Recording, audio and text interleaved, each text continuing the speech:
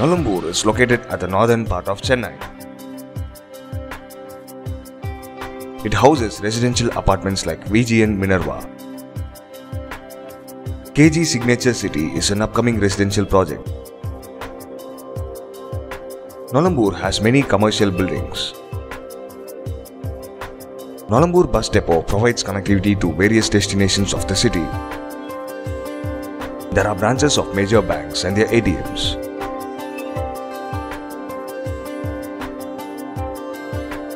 There are several well reputed schools and colleges.